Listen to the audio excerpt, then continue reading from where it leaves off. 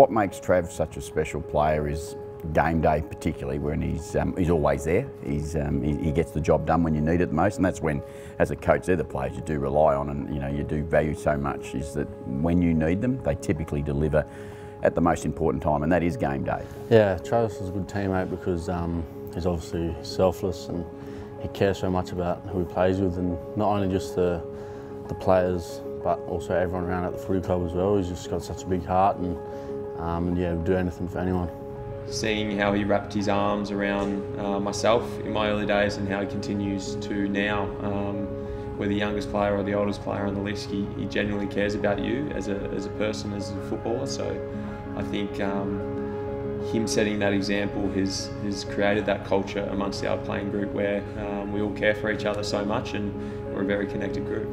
Travis's character as a man, as a man, not a footballer. I think we all talk about them as footballers. Travis's character as a man, um, the values that he has, he's the person you want to grow up like. He's the person you want to be like when it comes to being a good human being.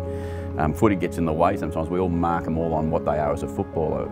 I love the fact that we can mark Travis Boak on the man, and the man is just an outstanding person who does more than he should for everyone.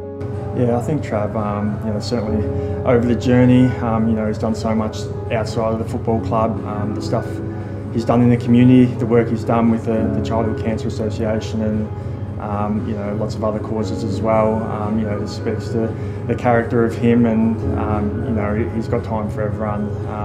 so he certainly inspires everyone else with the way he goes about not only on the football field but the person he is as well.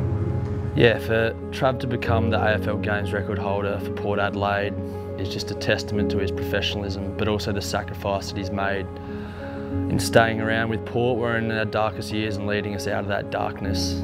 He's going to go down as one of the greats of our club and um, I think that all that is left is to win a premiership for him. Bokey's going to be the, the most capped Port Adelaide player in the AFL era for us, and I don't think there's a, a more fitting person to, to hold that. Um, his leadership was something that, that I haven't seen before, and um, the way he took the group and led them the direction he wanted, and to where we are now as a, as a strong and, and stable club with a great culture is, is something that um, I'm incredibly grateful for, and I think our, our footy club is a better place uh, because of Travis Boak.